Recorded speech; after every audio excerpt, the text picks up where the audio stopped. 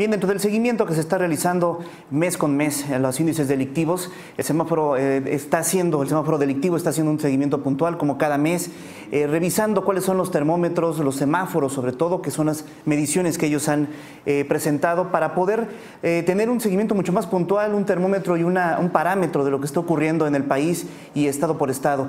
Y para esto le quiero agradecer muchísimo a Santiago Roel que nos comparta vía telefónica un poco del informe que presentaron el día de ayer en la Ciudad de México y sobre todo, pues bueno, saber y conocer cuál es el panorama que está viviendo nuestro país. Santiago, muy buenas tardes, gracias por tomar la llamada.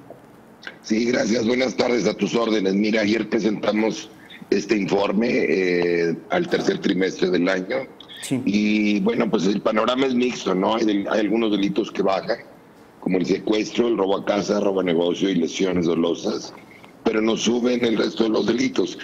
Narcomenudeo, 32%, ejecuciones, 26%, homicidio, 18%, violencia familiar, feminicidio, violación, extorsión y robo de vehículo. Entonces, eh, el que más nos preocupa en este caso, y ayer fuimos muy enfáticos, es el tema de los homicidios, ¿no? Porque si bien es cierto que algunos delitos, otros delitos han subido, lo que nos compara muy mal contra el resto del mundo eh, y contra nosotros mismos es el tema del homicidio. Vamos a cerrar este año, hacemos el pronóstico de cerrar este año como el peor de la historia, con más de 28 mil homicidios y más de 33 mil víctimas de homicidio, porque una cosa son los casos y otra cosa son las víctimas. ¿no? Eh, en términos muy llanos, es alrededor de 90 homicidios por día, en donde, que es una cifra espeluznante, ¿no? Claro. Y el 80 o el 90% de los casos, dependiendo de la ciudad, tiene que ver de estos homicidios, pues son ejecuciones de, de mafias de mercado de drogas, es decir, narcomenudistas o narcotraficantes, ¿no? Este, este pleito que traen entre ellos, que el plan Mérida ha exacerbado, desafortunadamente, y que con plata o plomo pues nos van colapsando a las autoridades y a la propia sociedad. Entonces, esto es lo que más nos preocupa porque también nos contamina otros delitos, ¿no? En el momento que tú con una mafia eh, vas colapsando a la autoridad, pues te puede subir el secuestro, te puede subir la extorsión, te pueden subir los robos u otro tipo de delitos. No hay estados como Colima que está totalmente colapsado con estos temas.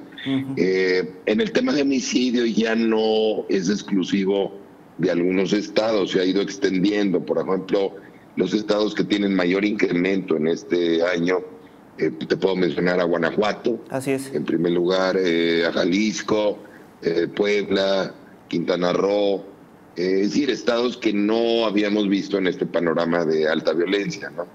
Incluso estados con poco índice de homicidios, como sería Aguascalientes o Yucatán, la mayor parte de los homicidios son estas ejecuciones del crimen organizado. Entonces, es una causa muy puntual, muy específica. El resto de los delitos tienen muchas causas y para reducirlos, pues tienes que hacer varias cosas, ¿no? Pero en este caso de lo de homicidios, es una causa muy puntual y se debe a una política de drogas totalmente equivocada que tenemos en el país, a una guerra importada desde los Estados Unidos, ¿no? La única manera de salir de esto, lo dijimos ayer con toda claridad, es regulando las drogas, es tomando el control de este mercado. Eh, es un mercado que no se combate con balas, sino que se combate con principios económicos y la mejor manera de hacerlo es eh, quitarles el negocio a las mafias, que es regulando las drogas. Y es algo que la gente no acaba de entender. Por, por, eso es parte del obstáculo, ¿no? La gente confunde regulación con promover drogas o, este, liberalizar las cosas, pues no es quitarles el negocio a las mafias y es tomar control de esto como lo tenemos en otras sustancias, en medicamentos, en, alcohol, en cigarro, etcétera, ¿no? Entonces, pero es un tema que la gente no entiende bien, incluso yo te digo, no, no nada más el, ciudadano de a pie, ¿no? Este, yo tengo mucho intercambio con empresarios y no lo entienden, ¿no? O sea, la, mayoría eh, confunde, quizá porque hemos sido bombardeados durante muchos años de, con propaganda de guerra o por prejuicios o por lo que tú quieras y gustes, pero es gran parte del problema el no entender el asunto y entonces no resolverlo, ¿no? Porque los políticos pues no resuelven lo que la gente no entiende. ¿no? Así es. Yo te diría también el contexto particular de Guanajuato que estamos viendo en la gráfica, con un crecimiento del 149% en homicidios en este tercer trimestre. Eh, es un estado que en este momento vive una, eh, un, conflicto eh, armado prácticamente entre dos este, cárteles. Se habla mucho del control de hidrocarburo, pero creo que ahí tiene, que ver con una de las consecuencias o líneas de negocio que tienen los cárteles, pero principalmente ellos tienen un dominio y, finalmente existe tanto el cártel Jalisco Nueva Generación o el cártel de Santa Rosa, como se le ha identificado aquí en Guanajuato, su este, médula tiene que ver con el negocio de las drogas, ¿no? Sí, de ahí parte, ¿no? Este, eh, evidentemente luego se extienden, como tú bien dices, a otros temas como puede ser el huachicoleo. He estado leyendo esas notas, pero en el fondo del asunto, ¿de dónde sacan la principal cantidad de recursos para corromper a la sociedad y al gobierno? Sí. Eh, ya sea con plata o con plomo, es del narcomenudeo. Ese es el tema fundamental. Ya una vez, una vez que tú regules drogas y les quites este negocio, bueno, pues entonces sí le estás dando más oportunidad a las autoridades, a las policías mexicanas, de este, hacer una, una lucha eh, de los otros delitos, que eso sí se combaten con policías, con inteligencia, con cuerpos especiales, etcétera, etcétera, ¿no? Sí. Pero el mercado de las drogas ese es un mercado, ese hay que entenderle, esto es de, de, principios económicos, ¿no? Y sí, Guanajuato, aunque reporta buenos números en otros delitos, es decir, no se ve un mal generalizado como lo podría tener Morelos o Colima, este, pues sí, sí está muy claro el tema de los homicidios, eh, el tema del narcomenudeo, en donde vemos que cuando esto sucede, pues quiere decir que la autoridad está participando porque está atacando a algún grupo rival, ¿no? Con eh, medios legales, como podría ser atacar el narcomenudeo, ¿no? Así es. Pues bueno, las cifras este, hablan por sí solas. Estamos viendo también lo que es las ejecuciones del crimen organizado, este recuento mensual, la gráfica eh, eh, mes por mes. Y pues bueno, sí vemos finalmente un asunto que va muy por encima ya de la media histórica, ¿no? Es yo creo que la parte importante, ¿no?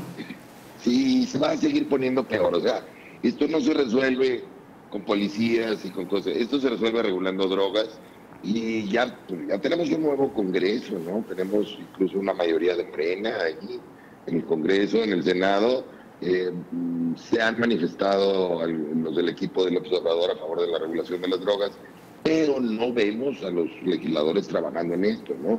Yo estaría eh, esperando ver a expertos nacionales e internacionales intercambiando ideas eh, con los legisladores, pues para ver el, digo, el caso más reciente, por ejemplo, Canadá en el tema de la marihuana, es muy interesante, vamos a aprovechar esa experiencia uh, y eso, ese esos ejemplos para, para hacerlo en México. ¿no? Eh, estamos hablando de regular la marihuana, toda la industria canábica es un gran negocio para México, es una droga muy fácil de regular, eh, con pocos riesgos. no deja de ser droga y por, lo tanto tiene que estar regulada por el Estado, pero este, con grandes beneficios económicos que pudiera tener el país. Algunos expertos hablan de 7 mil millones de dólares al año el valor de, de la industria. Esto sería interesante. También tenemos el caso del, cultivo de la amapola con fines médicos, en lugar de estar heroína para los gringos. Este, pero hay otras, la verdad, ninguna droga debe estar en manos de mafias, ¿no? Eh, ni las metanfetaminas también puede regularlas eh, para proteger justamente a los jóvenes del, de los riesgos de esta droga, ¿no? Porque las mafias pues las promueven con toda libertad. Eh, pero es un tema, te insisto, que nos dejan la tarea a unas cuantas ONGs. Eh, somos muy pocos en México los que entendemos esto y los que estamos proponiendo. Y, y, los demás callados, ¿no? Yo te preguntaría, bueno, pues ¿dónde están los empresarios de Guanajuato entendiendo esto y hablando sobre esto y apoyando esta propuesta? ¿O dónde están las cámaras empresariales? ¿O dónde están los sindicatos? ¿O dónde están las ONGs de Guanajuato? ¿O la misma iglesia? ¿O, o iglesias de Guanajuato? ¿Qué, qué, dónde están, no? Es decir, no es un tema que, a ver qué pasa, ¿no? A ver qué, deciden los, legisladores. Los legisladores hay que presionarlos, ¿no? A los políticos hay que presionarlos para que tomen mejores decisiones. Y ese es el problema de México. Somos muy lentos para entender esto, hay mucha confusión, hay muchos prejuicios y, y, eso nos complica el panorama. Así es. Yo te diría, pues actualmente hay un activismo en Guanajuato este, eh, sobre el tema. Evidentemente estos niveles tenían que tener una reacción por parte de la sociedad civil. El asunto es que todavía no se contempla y no vislumbran eh, como una de las causas y como una de las, de las, posibles soluciones precisamente la regulación de este mercado de, las drogas. Y yo creo que todavía será un trabajo que se tiene que hacer de concientización, pero por lo pronto yo creo que es pues una, una apuesta que se está dando. Problema, ¿no? ¿Quién está haciendo el trabajo de concientización? ¿Quién está educando a la población para que entienda el tema? Esa es mi preocupación. Porque si esperan que semáforo delictivo o México Unido contra la delincuencia hagamos toda la tarea, pues la verdad mm, van a, va a pasar un siglo antes de que eso suceda, ¿no? O sea, aquí tiene que ver eh, ciudadanos, ¿dónde están las mamás de las víctimas de todos estos policías muertos, periodistas muertos, jóvenes que han caído en el consumo o en la adicción o en la venta o o se incorporaron al crimen organizado y están muertos. ¿no? Si todas estas madres, ¿en dónde están? No, no esperemos que Santiago Roel, Semáforo tío vayan a cambiar las cosas. Pues no. Y no veo al gobierno educando en este sentido. Este, no veo a los legisladores, te digo, de Morena actual. Me preocupa. Me preocupan dos cosas. Uno, que no se haga nada, que es más de lo mismo. O sea, entonces pues, va a seguir el... Y me preocupa si se empieza a hacer algo, que no se entienda bien el tema y se quiera legislar muy a la mexicana, torpemente, con demasiados controles, sin tomar en cuenta las experiencias exitosas de otros países, ¿no? Lo, de siempre. lo echamos a perder con una bola de, tonteras, de suposiciones equivocadas y de falta de entendimiento científico sobre el tema. Bueno, yo creo que lo que acabas de describir es parte finalmente del, del panorama, ni más ni menos. Coincido contigo. Pues Santiago, estaremos en contacto. Adelante. no, ahora lo único que podemos hacer es llevar al caballo a tomar agua. Si el caballo no quiere tomar agua, pues es su problema. Los muertos, sí. ahorita pues son de, Enrique Peña Nieto, pero pues eh, a partir de diciembre serán del observador. Completamente de acuerdo, es, eh, porque va a ser el momento de tomar responsabilidades y de tomar también eh, las riendas de este asunto y tendrán que explorar todas las posibilidades para poder pacificar el país, no hay más. Pues así lo dijo López Obrador, pero pues no veo que se empate la acción con la palabra. Pues no. Pues vamos a seguir en el tema. Santiago, yo creo que hay que insistir finalmente en, presentar todos los panoramas, todas las ideas. Y yo te agradezco muchísimo que como cada mes estés con nosotros vía telefónica para compartirnos este estudio. Con todo gusto, ahí está la página para el que quiera verlo, ¿no? semáforo.mx. Ahí están todos los detalles nacionales por estado y también los de Guanajuato, ¿no? Por municipio. Así es, semáforo delictivo con Guanajuato. Muchas gracias, Santiago. Un abrazo, hasta luego. Buenas tardes, Santiago Roel.